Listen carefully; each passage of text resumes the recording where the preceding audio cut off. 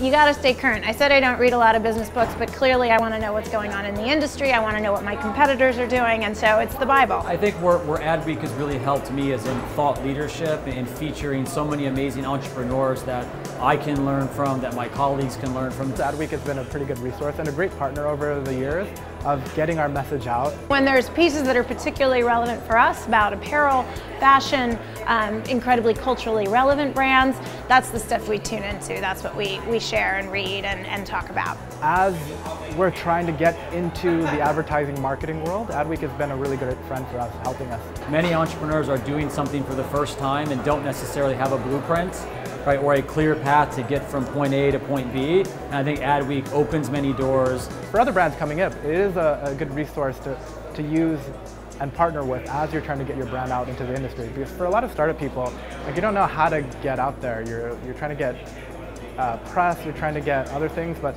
really finding good partners to work with that can share your message, that understand it, that's like the, the most beneficial thing that you can do. Has allowed me to find out kind of the who's who of who's doing what, reach out to them via, via LinkedIn and just have communication and share best practices so we can all kind of lift each other up together. Happy anniversary, 40 years? That's a long time.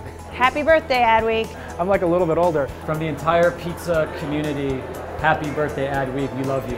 Happy birthday, Adweek from Giphy from all the GIFs. Every GIF for Adweek.